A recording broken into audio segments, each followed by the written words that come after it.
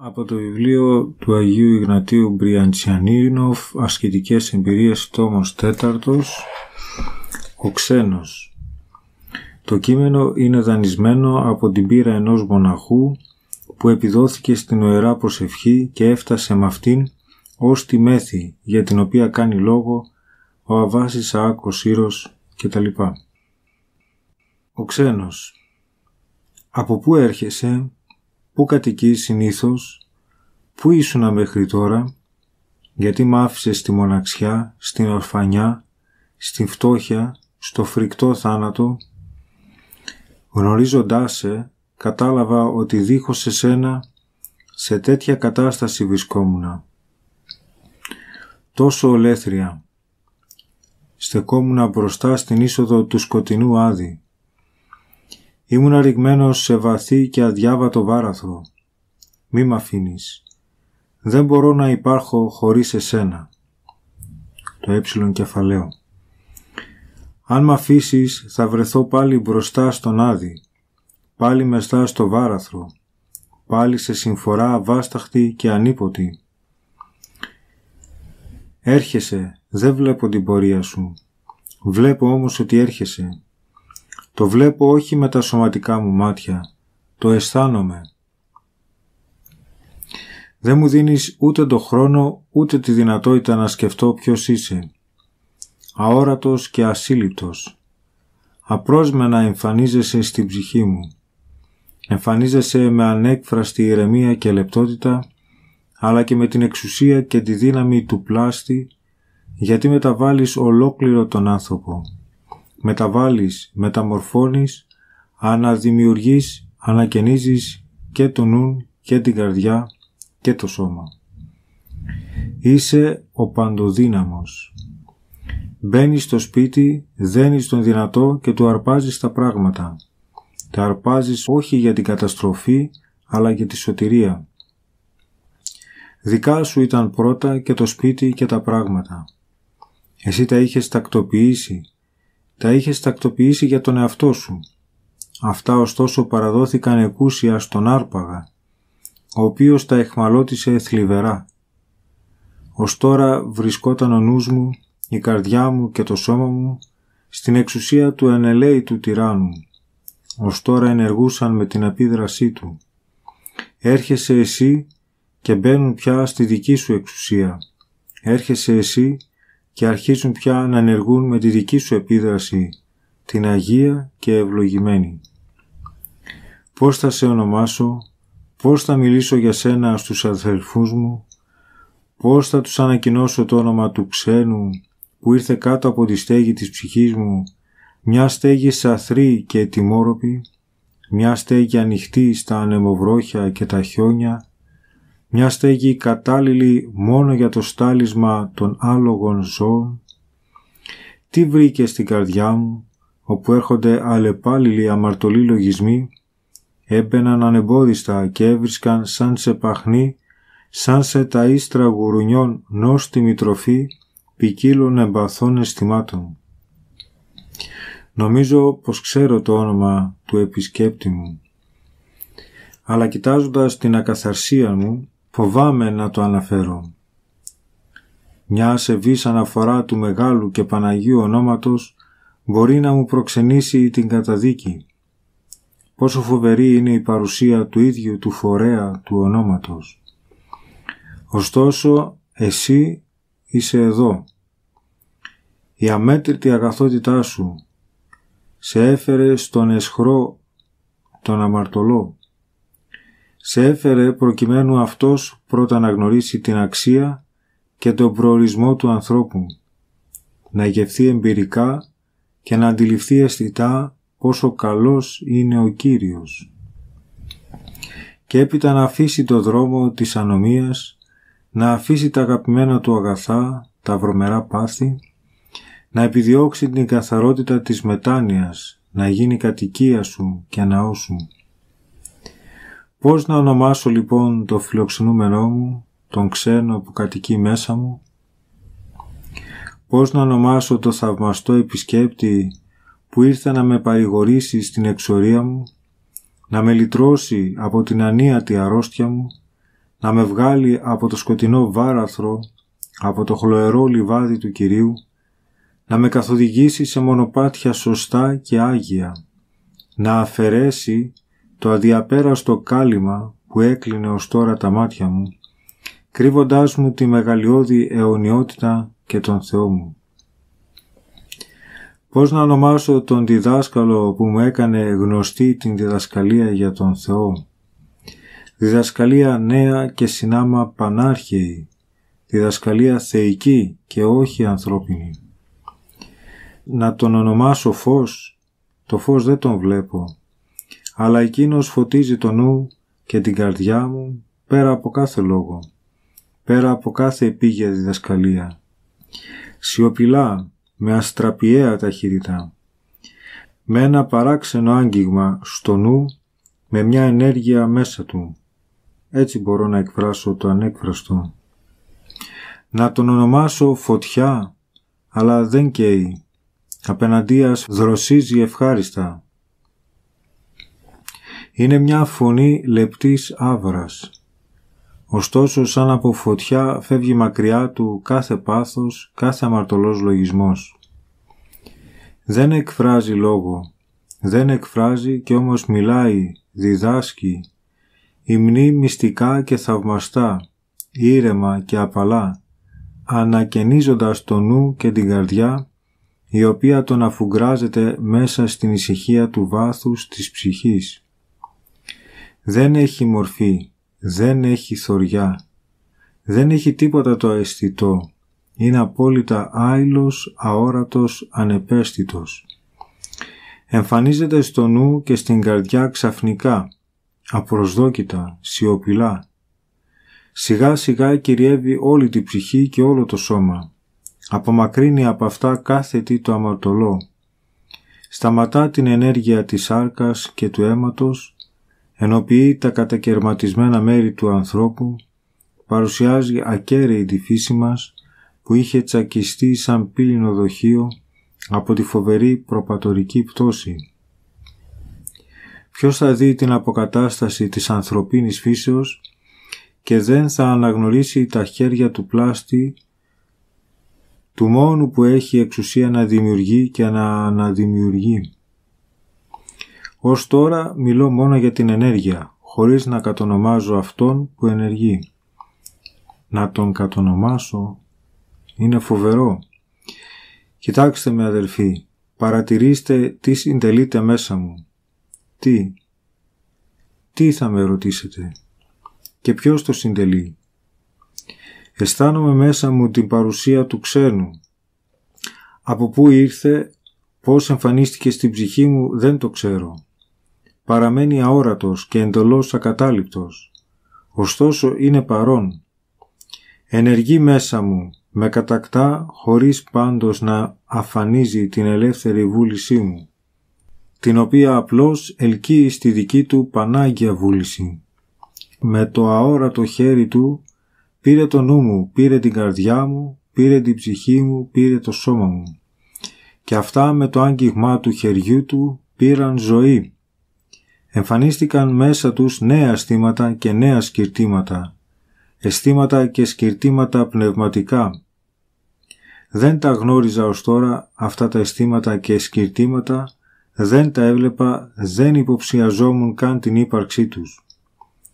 Μόλις αυτά εμφανίστηκαν, τα σαρκικά και τα ψυχικά αισθήματα και σκυρτήματα κρύφτηκαν ή αλυσοδέθηκαν. Σαν ζωή εμφανίστηκαν και σαν θάνατος εξαφανίστηκε η προηγούμενη κατάστασή μου.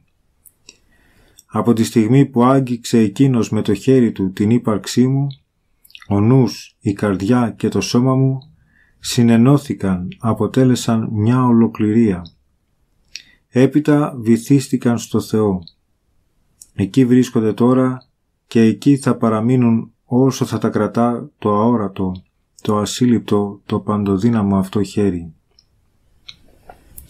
Ποιο αίσθημα με έχει κυριέψει εκεί; Σ' όλη την ύπαρξή μου κυριαρχεί μια βαθιά, μια μυστική σιωπή, χωρίς καμιά σκέψη, χωρίς καμιά φαντασία, χωρίς καμιά ψυχική κίνηση που προκαλείται από το αίμα. η σιωπή αυτή σαβατίζει και συνάμα ενεργοποιεί την ύπαρξή μου με την καθοδήγηση του Αγίου Πνεύματος, καθοδήγηση ακατάληπτη και ανέκφραστη. Είμαι σαν μεθυσμένος, ξεχνώ τα πάντα. Τρέφομαι με αόρατη και άφθαρτη τροφή. Βρίσκομαι έξω από όλα τα αισθητά, σε μια περιοχή που είναι όχι μόνο πέρα από την ύλη, αλλά και πέρα από κάθε νόηση και κάθε αντίληψη. Δεν αισθάνομαι ούτε το ίδιο μου το σώμα. Τα μάτια μου βλέπουν, αλλά δεν βλέπουν. Παρατηρούν, αλλά δεν παρατηρούν. Τα αυτιά μου ακούνε, αλλά δεν ακούνε. Όλα μου τα μέλη είναι παραλυμένα. Παραπατώ. Πιάνομαι από οτιδήποτε για να μην πέσω. Υπέφτω στο κρεβάτι σαν άρρωστος, δίχως αρρώστια και σαν αδύναμος από την υπερβολική δύναμη. Το ποτήρι που προσφέρει ο Κύριος, το ποτήρι που προσφέρει το πνεύμα είναι γεμάτο με μεθυστικό κρασί. Έτσι περνώ τις μέρες, έτσι περνώ τις εβδομάδες. Και ο χρόνος συστέλλεται. Σιωπή θαυμαστή, σιωπή που κυριεύει το νου, την καρδιά, την ψυχή, σιωπή που στράφηκε με όλη της την δύναμη στο Θεό και έχασε θα λέγαμε την αένα κίνησή της προς το άπειρο. Η σιωπή αυτή είναι και συνομιλία μαζί, αλλά συνομιλία χωρίς λόγια, χωρίς ποικιλότητα, χωρίς σκέψεις. Είναι συνομιλία που ξεπερνά κάθε σκέψη. Ο ξένος που τα επιτελεί όλα αυτά έχει και φωνή και λόγο. Ασυνήθιστη φωνή και ασυνήθιστο λόγο που εκφράζονται χωρίς ήχο και ακούγονται μυστικά. Ψάχνω στη γραφή κάποιο εδάφιο που να αναφέρεται σε τέτοιες ενέργειες για να γνωρίσω τον θαυμαστό ξένο και αθέλητα στέκομαι στα λόγια του Σωτήρα. Ο άνεμος πνέει όπου θέλει. Ακούς τη βοή του, αλλά δεν ξέρεις από πού έρχεται και πού πηγαίνει. Έτσι συμβαίνει με καθέναν που γεννιέται από το πνεύμα. Πώς να ονομάσω και την ενέργεια που συμφιλιώνει και ενώνει τον άνθρωπο πρώτα με τον ίδιο του τον εαυτό και ύστερα με το Θεό; Δεν μπορεί παρά να αναγνωρίσει κανείς σε αυτή την ενέργεια την πνοή της ειρήνης που φέρνει η χάρη του Θεού. Αυτή η ειρήνη είναι ασύλληπτη από το ανθρώπινο μυαλό. Διαφυλάσσει την καρδιά και τη σκέψη κοντά στον Ιησού Χριστό και όταν έρχεται στον άνθρωπο τον ανακαινίζει δια του Αγίου Πνεύματος. Ακριβώς, με αυτή την ενέργεια η σκέψη και η καρδιά γίνονται ευαγγελικές, γίνονται του Χριστού. Ο άνθρωπος βλέπει τότε το Ευαγγέλιο γραμμένο μέσα του γραμμένο στις πλάκες της ψυχής του με το δάκτυλο του πνεύματος. Ο θείος ξένος φεύγει και κρύβεται απαρατήρητα, έτσι όπως έρχεται και εμφανίζεται. Αφήνει ωστόσο σε όλη την ύπαρξή μου μια οσμή αθανασίας. Οσμή όχι ηλική, αφού και ο ίδιος δεν είναι υλικός.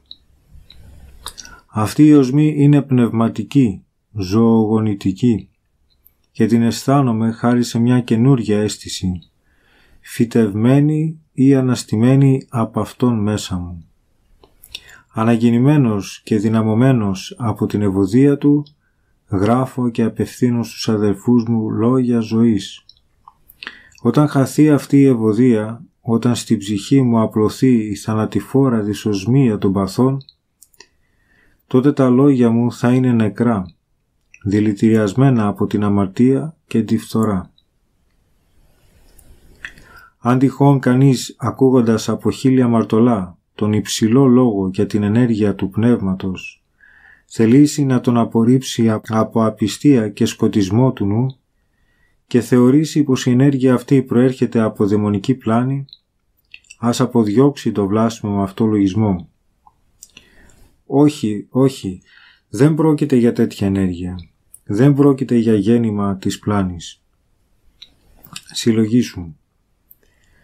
Μπορεί άραγε ο διάβολος, ο εχθρός και φωνιάς των ανθρώπων να γίνει γιατρός τους; Μπορεί άραγε ο διάβολος να ενώσει τα μέρη και τις δυνάμεις της ψυχής που έχουν διασπαστεί από την αμαρτία; Μπορεί άραγε ο διάβολος να λυτρώσει τον άνθρωπο από την εχμαλωσία της αμαρτίας και να τον οδηγήσει από την κατάσταση της ταραχής, του πολέμου και του διχασμού στην κατάσταση της Αγίας Ειρήνης του Κυρίου. Μπορεί άραγε ο διάβολος να βγάλει τον άνθρωπο από το βαθύ γκρεμό της αγνωσίας του Θεού και να του χαρίσει τη ζωντανή την εμπειρική θεογνωσία που δεν έχει ανάγκη από καμιά απόδειξη. Μπορεί άραγε ο διάβολος να κηρύσει και με κάθε λεπτομέρεια να εξηγεί την λύτρωση, να κηρύσει και να εξηγεί την προσέγγιση του λυτρωτή με τη μετάνοια. Μπορεί άραγε ο διάβολος να αποκαταστήσει στον πεσμένο άνθρωπο την Θεία εικόνα και να του εξασφαλίσει την ομοίωση με τον Θεό. Μπορεί άραγε ο διάβολος να εμπνεύσει στον άνθρωπο την συνέστηση της πνευματικής του φτώχειας και συνάμα να του προσφέρει την Ανάσταση, την ανεκαίνιση, την ένωση με τον Θεό. Μπορεί άραγε ο διάβολος να ανεβάσει τον άνθρωπο στα ύψη της θεολογίας, όταν μάλιστα ο άνθρωπος αυτός νιώθει πως είναι ένα τίποτα, άδειος από κάθε σκέψη και κάθε επιθυμία, βυθισμένος όλος σε θαυμαστή σιωπή. Μια τέτοια σιωπή δεν είναι παρά η εξάντληση όλων των δυνάμεων του ανθρώπου που στρέφεται στον Θεό και που, πώς να το πούμε, λιώνει, διαλύεται, αφανίζεται μπροστά στο άπειρο μεγαλείο του. Διαφορετικά ενεργεί η πλάνη και διαφορετικά ενεργεί ο Θεός, ο άπειρος Κύριος των ανθρώπων που ήταν και είναι ο πλάστης τους. Εκείνος που έπλασε και ανέπλασε δεν παραμένει παντοτινά πλάστης. Άκου λοιπόν αγαπητά αδελφέ πώς διακρίνεται η ενέργεια της πλάνης από τη Θεία Ενέργεια. Η πλάνη όταν πλησιάζει τον άνθρωπο είτε με σκέψη είτε με φαντασία είτε με λεπτή γνώμη είτε με ουράνια φωνή που ακούγεται από τα σωματικά αυτιά έρχεται όχι έχοντας απόλυτη εξουσία όπως η Θεία Ενέργεια, αλλά έχοντας δόλο και υποκρισία. Μέλημά της σε κάθε περίπτωση είναι να εξασφαλίσει τη συγκατάθεση του ανθρώπου. Και αν την εξασφαλίσει, αποκτά εξουσία επάνω του. Η πλάνη είτε παραμένει κρυμμένη μέσα στο λογισμό του ανθρώπου, είτε εκδηλώνεται με τα λόγια και τα έργα του, πάντοτε ενεργεί απ' έξω. Αν λοιπόν ο άνθρωπος θέλει, μπορεί να την αποκρούσει. Στα πρώτα στάδια της πλάνης η καρδιά αντιδρά απέναντί της με ένα δισταγμό. Ο δισταγμός αυτός όμως δεν υπάρχει σε εκείνους που πλανήθηκαν τελειωτικά. Η πλάνη ποτέ δεν ενώνει σε μια ολοκληρία τον κατακαιρματισμένο από την αμαρτία άνθρωπο. Δεν σταματά τις κινήσεις της σάρκας. Δεν παρακινεί σε μετάνοια. Δεν εμπνέει ταπείνωση. Απέναντίας προξενεί φαντασιώσεις, κινητοποιεί την σάρκα. Προσφέρει μια πικρή και φαρμακερή απόλαυση. Εξαπατά με τρόπο πολύ λεπτό εμπνέει την έπαρση, ειδωλοποιεί το εγώ. Η Θεία Ενέργεια από την άλλη πλευρά δεν είναι σωματικά αισθητή. Δεν τη βλέπεις, δεν την ακούς, δεν την περιμένεις. Είναι απερίγραπτη, ανεξήγητη και ασύγκριτη με οτιδήποτε εγκόσμιο. Έρχεται και ενεργεί μυστικά. Στην αρχή αποκαλύπτει στον άνθρωπο την αμαρτωλότητά του, την ξετυλίγει και την κρατά διαρκώς μπροστά στα μάτια του. οδηγώντας τον στην αυτοκαταδίκη. Του αποκαλύπτει την φρικτή πτώση όλου του γένους μας στη βαθιά και σκοτεινή χαράδρα της καταστροφής λόγω του προπατορικού αμαρτήματος. Έπειτα, λίγο-λίγο του χαρίζει όταν προσεύχεται όλο και πιο μεγάλη προσοχή στο νου, όλο και πιο βαθιά συντριβή της καρδιάς. Αφού λοιπόν ετοιμάσει με αυτόν τον τρόπο το πύληνο σκέφος που λέγεται άνθρωπος, ξαφνικά, απροσδόκητα και ανεπαίσθητα αγγίζει τα διασπασμένα μέρη του, που αμέσως ενοποιούνται σχηματίζοντας ένα διάσπαστο υπαρξιακό σύνολο. Πώς τα άγγιξε, δεν μπορώ να το εξηγήσω. Τίποτα δεν είδα, τίποτα δεν άκουσα. Αισθάνομαι ωστόσο αλλαγμένος, απότομα από την ενέργεια του εξουσιαστή. Ο πλάστης ενήργησε κατά την ανάπλαση του πλάσματος όπως και κατά την πλάση του. Πέστε μου, όταν το πλασμένο από το χώμα της γης σώμα του Αδάμ κοίτονταν μπροστά στον πλάστη πριν ακόμα λάβει ψυχή και ζωοποιηθεί, μπορούσε να έχει καμιά γνώση ή αίσθηση της ζωής; Και μπορούσε είτε να δεχθεί την ψυχή είτε να την απορρίψει; Όχι. Ο θεόπλαστος Αδάμ συνειδητοποίησε ξαφνικά ότι ζούσε, σκεπτόταν, επιθυμούσε. Με τέτοιον τρόπο συντελείται και η ανάπλαση του ανθρώπου. Ο πλάστης ήταν και είναι απόλυτος δεσπότης. Ενεργεί αυτοθέλητα, υπερφυσικά, υπέρλογα, ακατάληπτα, υπεραισθητά, πνευματικά και άειλα. Παρόλα αυτά, εσύ ακόμα αφινταλαντεύεσαι. Αμφιβάλλεις και βλέποντας μπροστά σου έναν αμαρτωλό σαν και μένα, αυθόρμητα αναρωτιέσαι. Είναι δυνατό να ενεργεί το Άγιο Πνεύμα μέσα σε τούτον τον αμαρτωλό, στον οποίο τόσο φανερά και δυνατά ενεργούν τα πάθη; Εύλογο το ερώτημα. Με κάνει να αισθάνομαι αμηχανία αλλά και φρίκη. Ναι, παρασύρωμαι και αμαρτάνω. Μιχεύω με την αμαρτία και προδίδω τον Θεό μου, πουλώντας τον για ένα εσχρό αντίτιμο. Και παρόλη τη διαρκή προδοσία μου, παρόλη την άστατη διαγωγή μου, παρόλη την αθέτηση των υποσχέσεων μου, εκείνος παραμένει αμετάπτωτα άκακος και περιμένει μακρόθυμα τη μετάνοιά μου. Με κάθε μέσο με καλεί στην μετάνοια, στη διόρθωση.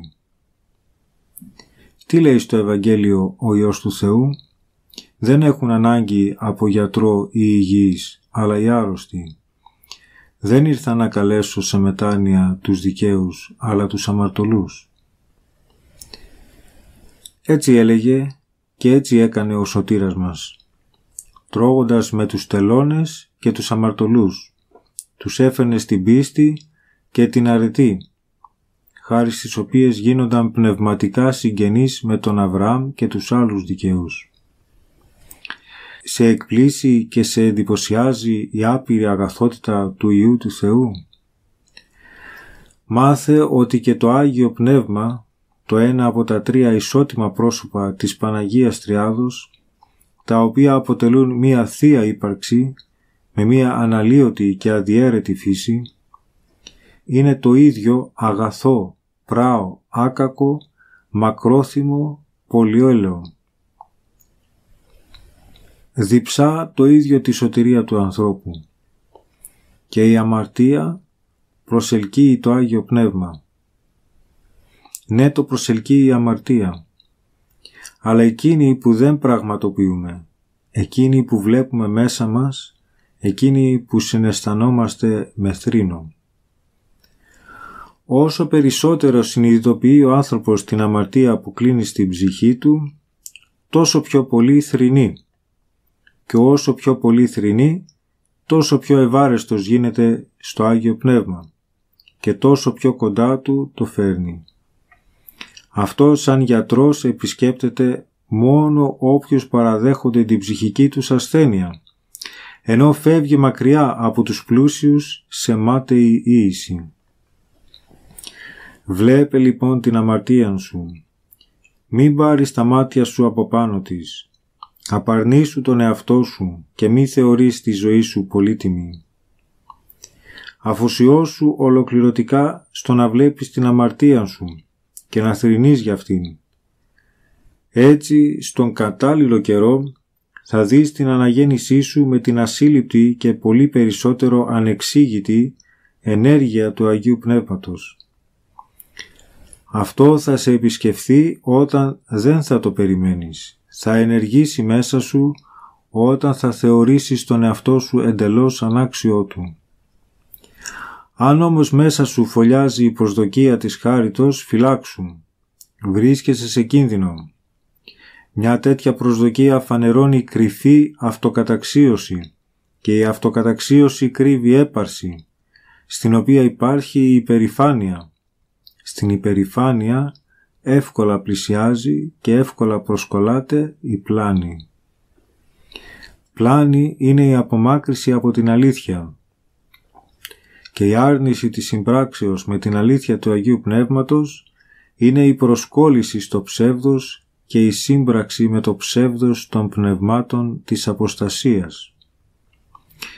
Η πλάνη υπάρχει ήδη στην έπαρση, στην αυτοκαταξίωση, στην προσδοκία της χάριτος.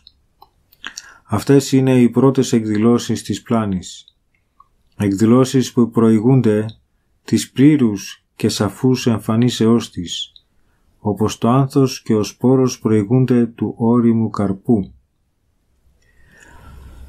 Από τις ψευδείς αντιλήψεις δημιουργούνται ψευδή αισθήματα και αυτά οδηγούν στην αυταπάτη. Με την ενέργεια της αυταπάτης ενώνεται η πλανερή ενέργεια των δαιμόνων. Οι δαίμονες κυριαρχούν στην περιοχή του ψεύδους. Όποιος εκούσια υποτάσσεται στους δαίμονες ενεργεί με την βίαιη επίδρασή τους. Χωρίς να το αντιλαμβάνεται στερείται το αυτεξούσιο και παίρνει για αλήθεια το ψεύδος που τον έχει σκοτήσει και απατήσει. Μια τέτοια κατάσταση στην οποία ξεπέφτουμε από εγωισμό και φιλαυτία είναι κατάσταση πλάνης. Όποιος αγαπά τη ζωή του θα τη χάσει. Όποιος όμως δεν λογαριάζει τη ζωή του, όσο υπάρχει αυτός ο κόσμος, θα τη φυλάξει για την αιώνια ζωή.